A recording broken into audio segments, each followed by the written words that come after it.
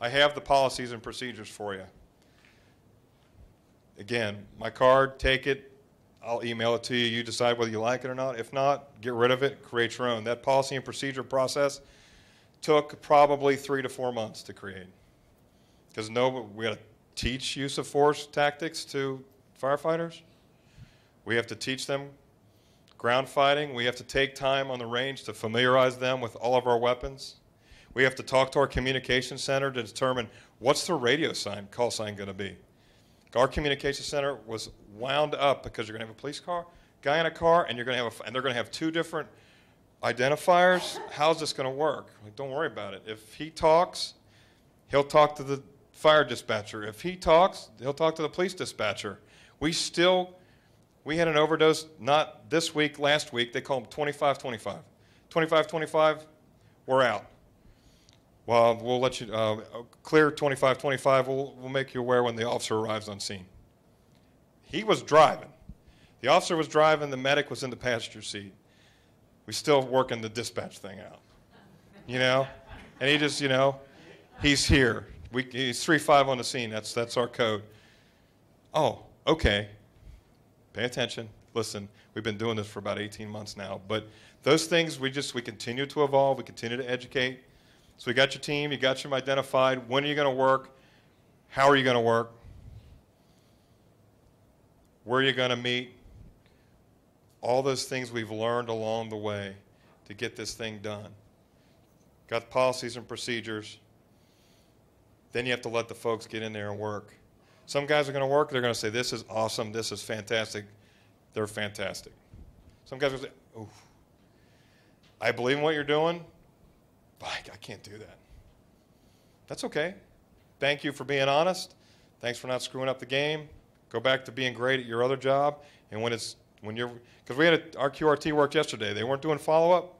They were just doing first emergency first stuff.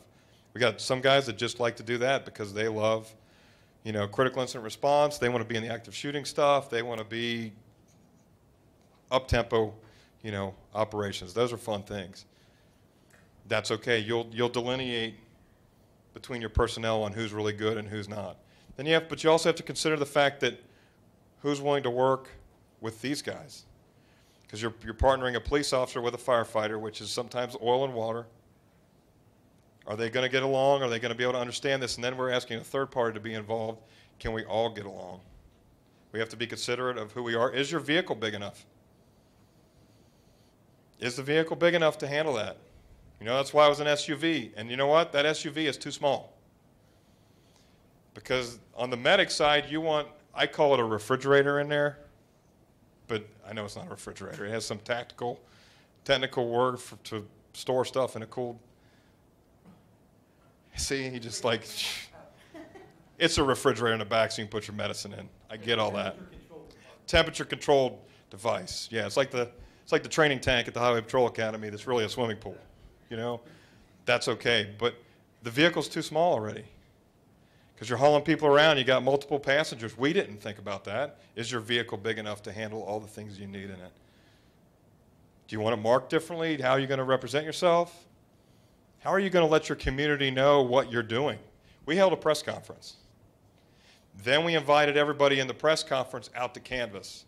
That was our first act as a QRT. We had news media canvassing with us. We all canvassed. But we had local reporters going door to door, just dropping those flyers off. And they were all like, this was really cool. They did great stories. We let people know, and we started to work. When we started initially, we did a look back. Don't, would you say don't waste your time on doing a look back? Because we went back and we really had no success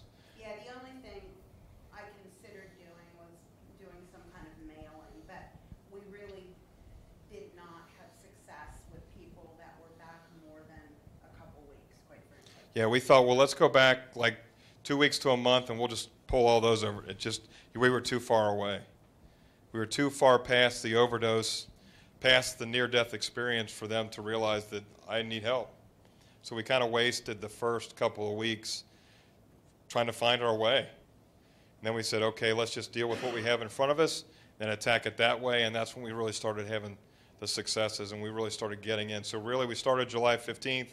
Really, we started doing the job that we're doing now August 1st of 15, and we started rolling this thing through. So I mean, these things are. Question? Yes, sir. I just want to make sure I understand.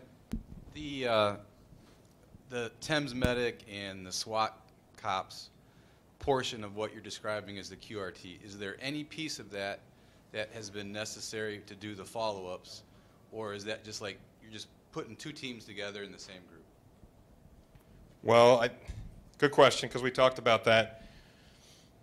We don't, we don't anticipate, we're not necessarily looking at putting sweat or, or TEMS and SWAT guys together to go out and do this. We just want to go do the follow. You don't have to. Maybe. You don't have to. What you, if you remember from my initial, the follow-up is one-fifth of the services provided by the QRT. Again, they're providing first emergency, first response, critical incident response, active shooter response, those kind of things, so we can get that medic into the warm zone quicker. That's where the tactical medic comes to provide. If you're just doing the heroin follow-up, you don't need to train to the level of the tactical medic. The SWAT guys were just guys that said, I want to be involved with an up-tempo, high-speed, low-drag operation. So it was the guys that say, you know what, I like to work a little bit harder. I want to try and push the, I want to be involved in something other than just fill in the blank. So- you're not showing up at the OD's house and No. No, we do outfit all the guys that are on the, we- the medics are all wearing ballistic vests. You know, they have the gear, they wear an exterior pack, it's medic on both sides, so they're easily recognizable. They carry the radio and all their gear so they can pop out of the car and do the business that they need to do. But they wear the same vest the police officers do.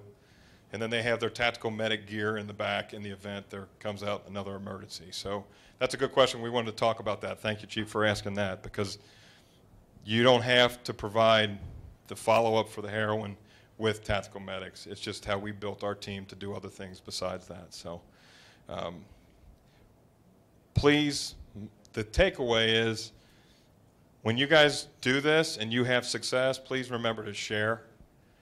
Because we were graciously called, and, and Chief said it, we were called experts, we're not. We were just willing to try something. And with good people, we had some great success. So every community that's doing this, we just ask you kind of give it back. So if you found it, you know what, Chief, we like this, but we, this really works for us. One of the questions in some of the smaller communities was, have you thought about including the faith-based piece? Now we have faith-based people on our community health collaborative. They sit at the table with us, but we have 40 churches in our community. That's something that we really we don't want to, we're just not ready to do that yet. They sit at the table with us, but we don't want to put them in the car. Some of the smaller communities that have talked about this, where you have one or two churches, you're really tight knit community, everybody knows each other, and they have churches have really wanted to get on board with it, they're more involved in the quick response team follow up because everybody, it fits better in a smaller community. So 60,000 people, 45 square miles, it doesn't work the same for us. We don't want to offend anybody. You know, we could assist them down the road, but right now we don't want them showing up at the front door and just we just don't want to make it an, issue. Um, again, the focus on this whole thing is making people realize that there's someone in the community that cares, and police and fire obviously are recognizable figures of respect within every community. And then we bring in the experts, let them do their magic, get them to the resources to provide treatment and a step towards recovery, and then work with those families to let them know that you're not alone. You're not alone. And then, again, what what we're working on right now is the creation of an education piece where we bring back everybody that we've served, families as well as those folks that are in treatment, in recovery, in maintenance, and talking these things through. You had response from the QRT. Please tell us, was it what did it mean to you? Are we, are we good? Did it work? Did, what did we do well? What did we need to do better? What shouldn't we do? All those kinds of things, and letting them know that look to their left and look to their right. There's other people just like them. So you know why we have a, a facility in the mall? Because we don't. Pe- if someone sees you at the mall, they're like, "Well, I saw you at the mall." Well, of course, it's the mall. everybody goes to the mall. We want to take some of that stigma away from going in and getting the help that Nan and Shauna's teams provide through the support work, networks, and things of that nature. So fighting the stigma, educating our communities, and then providing that resource to them is huge. So before we, is there any questions that, that we can answer before we leave and head back south? We hope we didn't waste your time. We certainly hope that, uh, you know, this afternoon was worthy, and we appreciate it. And we, you know, it's not rocket science. It's not rocket science. It's just deciding to do something. So